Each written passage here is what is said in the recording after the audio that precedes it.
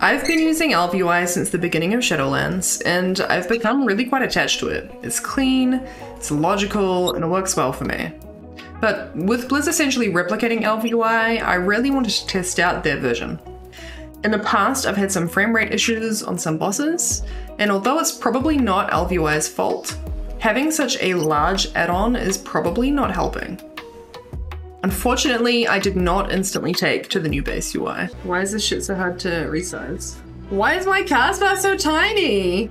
There's no like on mouse over, like bar visible on mouse over. I feel like I need to make my bars big just to do my key binding so that I can get them to make my bars small again. Like peering at it, like what is it? What does it say? and I can't resize that. Cool. You're gonna sit over my cast bar then, that's fine. There are two main issues with it that I wanted to resolve urgently. The first one is the functionality of the debuff icons on party frames, and the other is just making it less ugly. I've had a lot of trouble adjusting to the debuff icons. There's a small dot that appears on the right hand side that I have found incredibly distracting. The actual debuff icon uh, appears to the left hand side of the frame. Uh, both of them are really tiny and really difficult to see, I have a suspicion that the dot on the right hand side is an indicator to say that they have a dispellable debuff, but I'm not 100% sure. ElvUI has always spoon fed me when it comes to debuff information.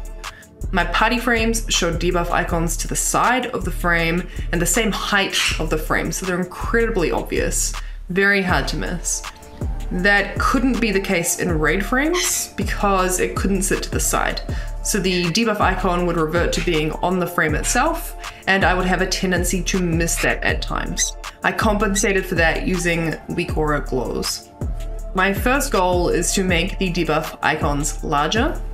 I have installed an add-on called Big Debuffs and, shocker, made the icons bigger, but... Uh, can you see my debuffs? Uh, yes, I can. Sweet, sweet, sweet. Was that a polite way of asking for a dispel? It absolutely was. I'm still gonna need some WeakAura glows. The ElvUI profile I was using had a really clean layout. The game menu was only visible when you hovered over it, and details set really nicely in the bottom right hand corner. This is a look that I really want to try to replicate. Unfortunately, the game menu is in the way and it's not movable in edit mode. To achieve this, I found a WeakAura called UI Editor, which has let me resize the minimap and resize and change the position of the menu. I then had an issue with my bags where they were clipping over the top of details and over my tooltips. So I reinstalled AdiBags, another add-on, uh, so I could move those bags out of the way. I then figured out how to enable the streamer plugin for details, so I created a window next to my meters.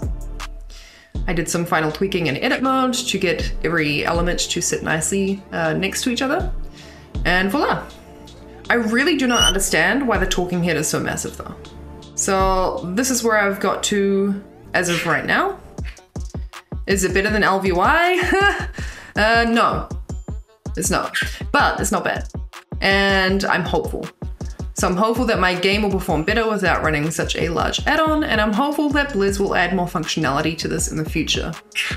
Some of the things that I would love to see would be a dark mode, having icon customization, having glow customization, being able to show bars and menus on mouse over, the ability to resize and reposition everything. If you have any tips for me to accomplish that, please let me know in the comment section below.